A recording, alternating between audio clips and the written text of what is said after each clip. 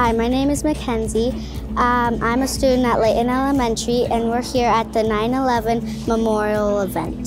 So, we started at the front with this little museum with pictures and photos, like you could learn about 9 11. We got to talk to a real firefighter from 9 11 well, I was in my, my company, Engine Company 225. We responded in that day. We got there just after the collapses had occurred. From there, I was relocated into another unit that I used to work in, the Field Communication Unit. It's very unique in the logistics and the communication, the record keeping of the scene going on. I think it's really important for them to remember, remember because they weren't around at the time. So this is a good time to educate them on what happened back then they have to be aware of that and, and bring this forward with them.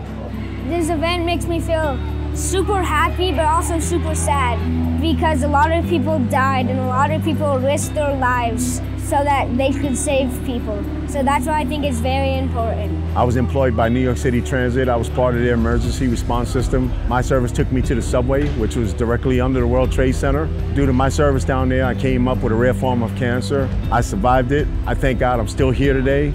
I had a cousin, George. He was a detective second grade. He lost his life due to three different cancers. He was working at the landfill when they started removing the debris. There was a lot of people that didn't have closure wondering well, what happened to their loved ones. One of the neat stories about my cousin George was he found a wedding band. Through the inscription on the inside of the band, he was able to find the spouse to the rightful owner of that ring and return it to him. What this means to me all is the opportunity to be the voice of the people that I served with at Ground Zero that are no longer here that died from cancers related to 9-11. So I try to honor them and keep their memory alive. As we finish up with the tour, I realized that a lot of firefighters died helping people get out of the building. So I thought that that was really cool and really special.